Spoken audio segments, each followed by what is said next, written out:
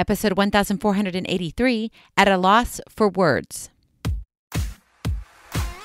Moms, it's time to rediscover, rejuvenate, and renew who you are in mind, body, and spirit. Welcome to Create Your Now, Your Best Selfie, the show to help you do just that.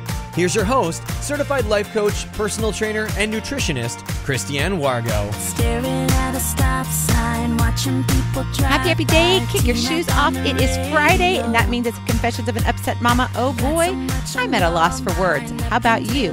For those of you who are brand new to Create Your Now, welcome to this incredible family. I'm so delighted of your presence. If you already haven't had the opportunity, you'll want to head on over to createyournow.com where you can learn more and sign up for the Kisses newsletter, the Keep It Simple strategy everyday solutions to live, love, and impact. Well, have you ever been in a situation where you just feel like, I got to have the answer? We always think that as parents, we have to have all the answers, right? All the right words to say. But what happens when you're at a loss for words? We even think that we have to have the answers when it comes to being a great friend or an amazing spouse. When you're at a loss for words, what happens with you? Do you sit there and try to stumble and fumble your way through to make something up that sounds good, that feels good, that appears that you have it all under control? Because you know, we all like control. Come on, let's be honest. It's Confessions of an Upset Mama, and that means we're real and raw. And you can't not have anything to say, right? I know that was a double negative. Don't call me out on it, English majors but it's true, right? You can't not have anything to say, meaning we always have to have something to say. We should always have the answers. We should always be the nurturer. We should always be there for anything and everything. Sometimes, though, being at a loss for words opens up a dialogue instead of having a conversation that's a monologue. Ever had one of those? You do all the talking, maybe your child does all the listening. I remember those conversations and I try my best now not to have them.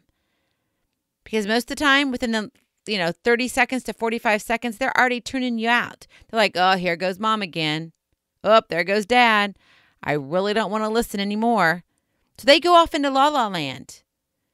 And they may hit a few little areas of what you're saying, but you're talking for 20 minutes. Mm-hmm. Remember those conversations?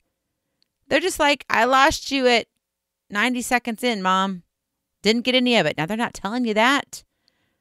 But sometimes having that loss of words opens up a dialogue.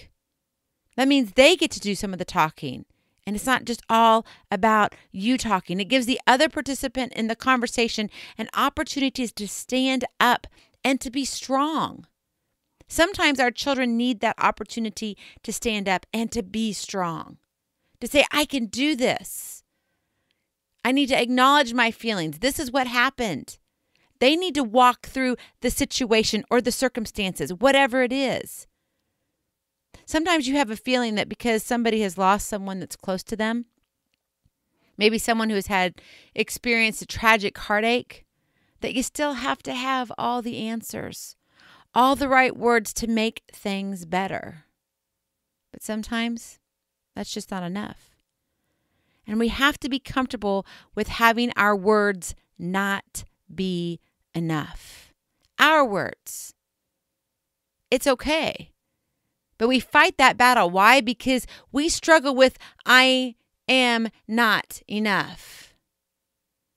And that's just personally, we struggle with that. Then we start looking at our words thinking, oh my gosh, I should have all the answers. So I need to be able to give them something of value. So when you're at a loss for words, what can you do? Well, it's all about the pulp of the conversation. That is your kiss to keep it simple strategy, the pulp of the conversation. It's the meaty part of the conversation, the meaningful part too, the M&Ms. You got to have meaning and meaty all together. Yummy. And pulp, it's this the presence to understand and listen to their perspective. P U L P, the presence to understand and listen to their perspective. When I was writing this, I couldn't help but think of a glass of orange juice. You go into the store now, right? We love the convenience of stores. I can remember when, if you wanted really good orange juice, you would squeeze it yourself, and oh, that's so yummy. I still love it when I use my juicer. My children still remember that. They're like, Mom, when are you getting that juicer out again? There's nothing better, right? But why is there nothing better than that? It's because of the pulp, it's the meat. You can go grab the one that doesn't have any pulp in it, but it's not as good. If you look on the label, it's going to be missing stuff. And your body's going to know it. Your mind's going to know it. Same with a conversation. It's the pulp, right? The presence to understand and listen to their perspective. The P is presence. It's to be present. Sometimes you don't have to say anything but to be there. The U is to understand. They just sometimes need you to look at them and nod your head. Mm hmm. Maybe make a few groans and moans. Mm-hmm. I gotcha. Uh-huh. Yeah. That's how it was. That's all. L for listen. Understand and listen. Are your children being heard? Or in your household, is it a one way conversation? That same question can go for your business, it can go for your relationship with your spouse.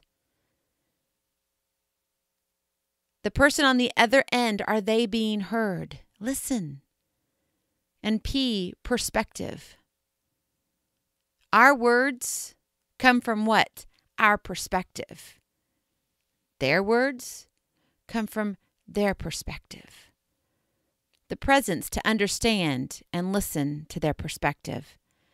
Maybe it's a simple touch of the hand, a hug in the middle of the school day, a sweet note left in the lunchbox, or a simple smile. Maybe it's the text with a simple emoji. When you're at a loss for words, maybe there's actually a divine reason, something greater than you having all the answers. Maybe it's simply just to be present, to understand, to listen to the person from their perspective. If we're always doing the talking, feeling that we've got it all under control and having all the right things to say, it stifles our growth personally and their growth too.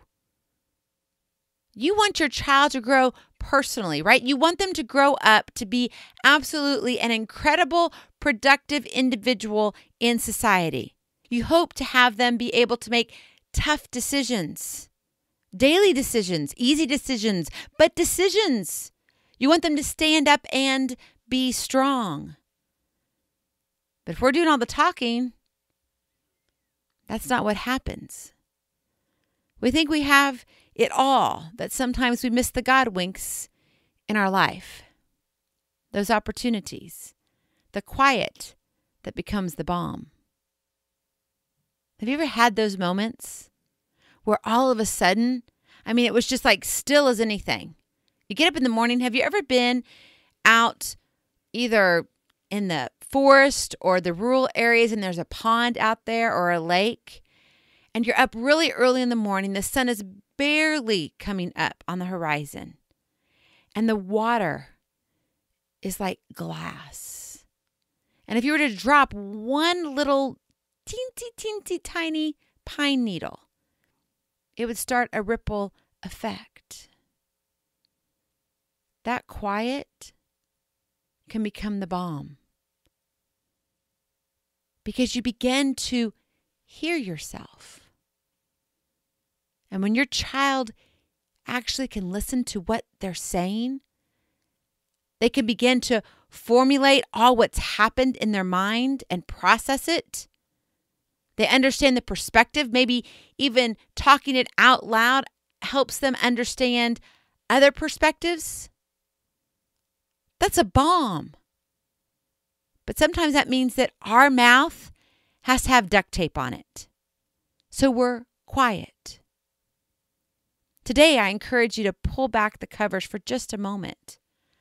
Look into your life and see what opportunities lie there for you with your children, with your husband, with your friends, even with a stranger. It's these opportunities for simple conversations. You can find them, but you have to be looking for them. Maybe you're one who is at a loss for words more than you really want to be. And maybe you're trying to find harmony, as into how much should I talk?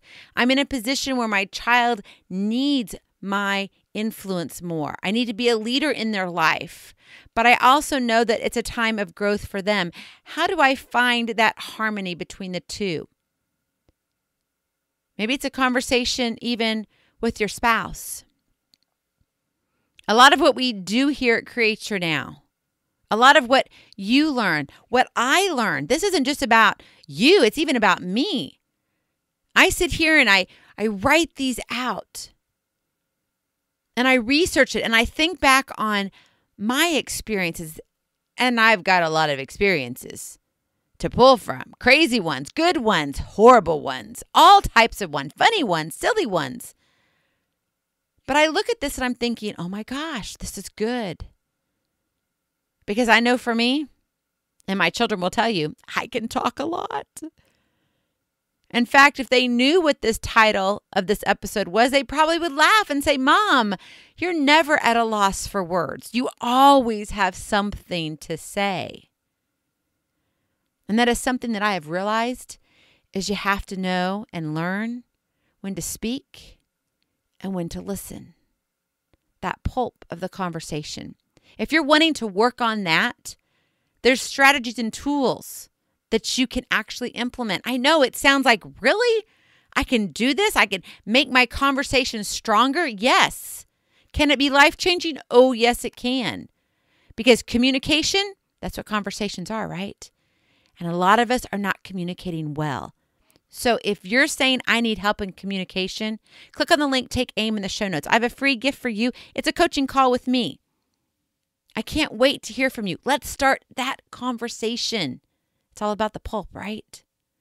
So I encourage you, pull back the covers. Think for just a moment. Be honest and real with yourself. Be raw. If you're not sure, get a piece of paper out and write down things, your thoughts. As you were hearing this particular episode, write down your thoughts that came to you. And after you press stop, just put the voice recorder on or send yourself a text. I do it all the time. So you can go back and read what your thoughts were. Because there's a lot of goodness in that.